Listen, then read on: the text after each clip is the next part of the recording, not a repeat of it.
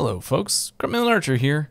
Um, I just wanted to take a quick second to um, say thanks because we passed 30,000 subscribers about a week ago.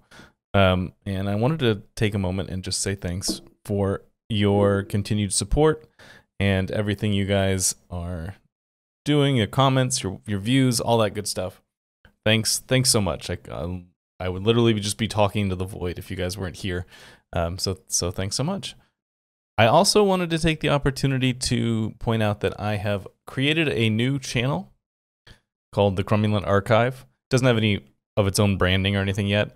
This spot here, these videos that you see here are the the last like two months of my Twitch VODs.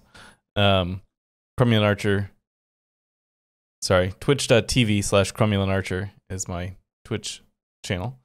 But um, some people have asked for me to upload the VODs to YouTube, which is something I used to do. But YouTube punishes you for uploading really long videos that don't get very many views. Um, it's just the way their algorithm works. So I didn't want you guys to miss out, those of you who aren't interested in watching live but would like to see the content.